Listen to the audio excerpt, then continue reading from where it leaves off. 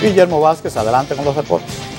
Claro que sí, adrenalina y velocidad fue lo que se vivió en Estados Unidos, en el circuito Austin, donde Lewis Hamilton pudo hacerlo nueva vez y desde ya se proclama como campeón en esta temporada y consigue su campeonato, su carrera número 43 ganada, dejando detrás a Fernando Alonso con esta victoria. El británico, ahí estamos viendo algunas imágenes. El circuito estuvo bien mojado todo el fin de semana cuando se estuvieron haciendo las pruebas, pero esta carrera al inicio estaba la pista un poco húmeda y luego estuvo seco fue un cambio ahí pues de estilo de correr, eh, lo que se vivió en el Gran Premio de Estados Unidos. Y hay que destacar que ya Hamilton se puede proclamar campeón sin haber terminado todas las carreras porque ya la distancia que tiene en contra de sus eh, pues contrincantes eh, es pues muy superior, cosa de que él podría si quiere ni siquiera correr y los otros quedando en primer lugar no podrían alcanzarlos. 327 puntos es lo que ha conseguido Lewis Hamilton en esta temporada,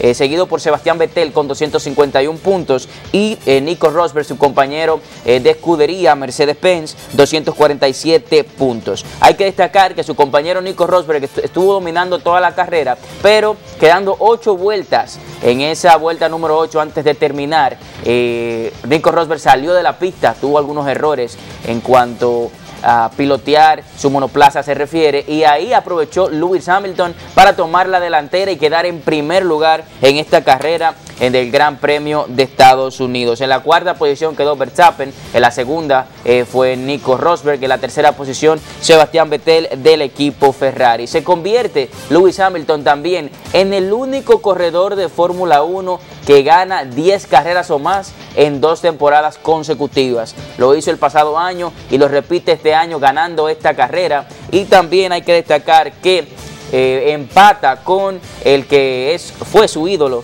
eh, pues Ayrton Senna, el piloto eh, ex piloto de Fórmula 1 eh, brasileño, quien consiguió tres títulos en la Fórmula 1 y este es el tercero que consigue Lewis Hamilton, por lo que definió esta carrera como el campeonato de su vida, este campeonato de gran eh, pues el Gran Premio de Estados Unidos. Ha sido el más importante para él y el más excitante de todos. También se une a Jackie Stewart como los británicos con más títulos en la historia eh, pues de su representación, representando su bandera, quien Jackie Stewart consiguió tres, Lewis Hamilton tiene tres, y en total los de Gran Bretaña eh, tienen 16 títulos en la Fórmula 1, seguidos por los alemanes, eh, que tienen, han conseguido 11 en conjunto, Michael Schumacher 7 y Sebastián Vettel 4. Un carrerón en esta pista permite los rebases por ser amplia, ancha, lo cual hace que sea todavía con más adrenalina. Vimos ahí como Ricciardo y Rosberg le dieron...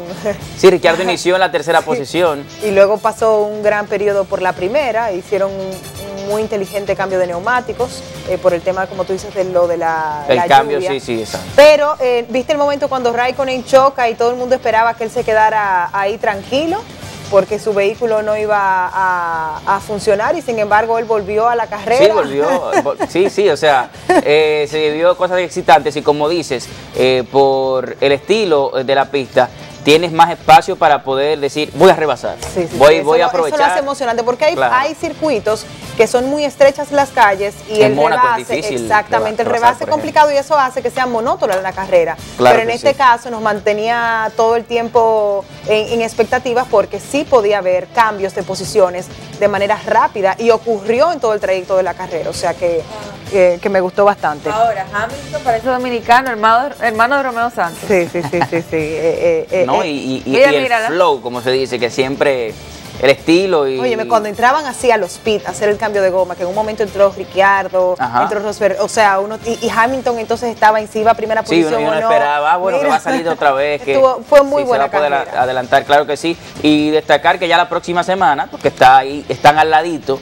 la próxima carrera será en Ciudad de México, eh, donde podrán vivir esa experiencia de la Fórmula 1, toda, todo el pueblo mexicano estarán ahí ya, lo que se puede disputar es el segundo lugar entre Sebastián Vettel y Nico Rosberg, porque ya eh, la primera posición nadie se la arrebata a Lewis Hamilton, que lo puede hacer nueva vez. Repetimos, lo que ha conseguido en esta carrera del Gran Premio de Estados Unidos ha sido eh, pues oficializar el campeonato, conseguir una décima carrera por segunda vez eh, en años consecutivos y es el único que lo ha hecho en la historia de la Fórmula 1 y también consigue empatar con Ayrton Senna consiguiendo pues unirse a ese club de tres títulos o más, ya club que sigue eh, subiendo, si seguimos subiendo. Vemos a un Prost, eh, por ejemplo, Line Prost que consiguió cuatro y Sebastián Vettel que actualmente sigue eh, pues piloteando. Y Michael Schumacher con siete títulos, pero sin lugar a dudas Lewis Hamilton ya se sigue posicionando entre los mejores de toda la historia de la Fórmula 1.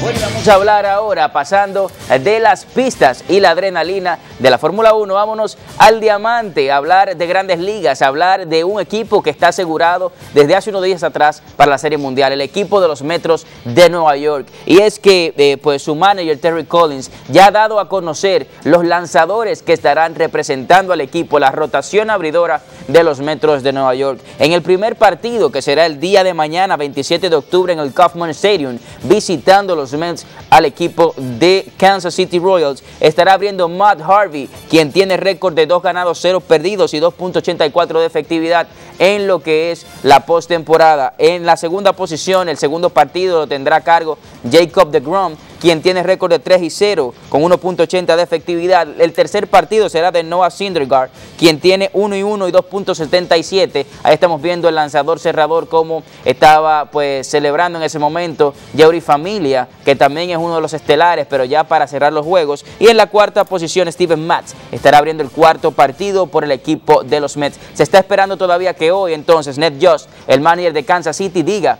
quiénes serán los abridores, pero se espera que sean los mismos, que estén ahí los tres, la tripleta dominicana de Ventura, eh, pues eh, también Johnny Cueto y Edinson Volques. Vamos a ver las posiciones que, que, que pondrá Ned Joss versus lo que ha hecho Terry Collins con su rotación abridora. Perfecto, gracias.